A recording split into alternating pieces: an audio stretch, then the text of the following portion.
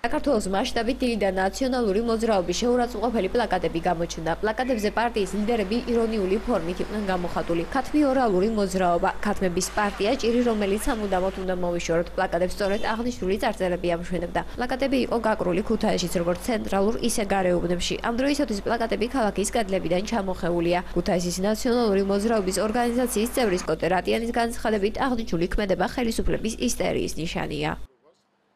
თავრობა ნერგავს მასობრივ ფსიქოზს. აა ფიქრობ რომ არის საშინლება და ეს არის მართლა სამარცხვინო ფაქტი.